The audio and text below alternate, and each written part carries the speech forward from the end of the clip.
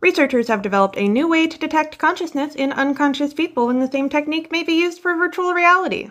We'll talk about it. First off, spiking patterns in your brain are not mysterious. We can record them.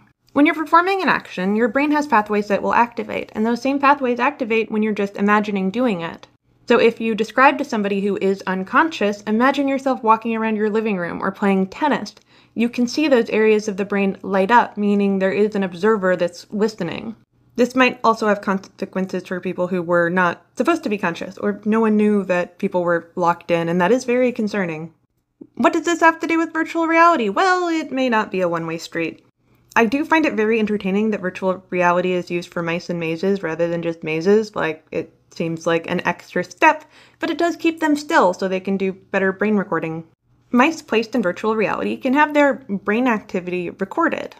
It looks like this. They have a mouse running on a little sphere, and they have an environment where they learn to map a maze. Yes, mice will run around these little mazes, and in certain parts of the maze, they'll get a reward or a punishment, and they begin behaving differently based on the location. You can induce those neural pathways, and the mouse will behave as though it's in a different location, meaning they believe they're in a different location just because their brain has said, hey, you're here. This means that memories can be implanted. You can change your behavior based on just what your brain is telling you. Not unlike when people have dementia and they believe they are somewhere entirely different.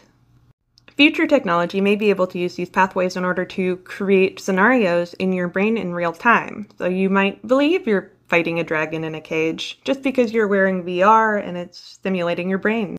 Before you say it, I get it. Shocking your brain to make you believe you're somewhere else probably is not good for your brain. But hey, we do a lot of stuff that's not good for us. And while we're at it, I'm kind of jealous about mice getting to run in this cool little virtual world, even if they have like electrodes in their brain recording it, it does look like fun.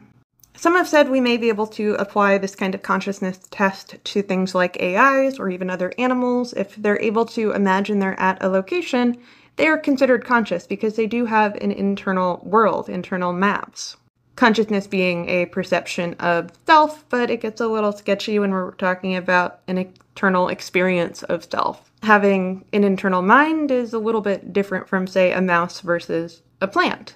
No one can decide what consciousness really means, and even sentience has some pretty serious controversies on how you define something as sentient, and I firmly believe we will never decide that a robot is conscious, just because we're kind of, you know, a little bigoted about it.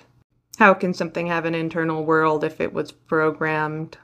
I do think we'll be able to accomplish it if, you know, mankind makes it there mankind is, you know, kind of on the decline right now, and I do hope that we make conscious robots before the apocalypse.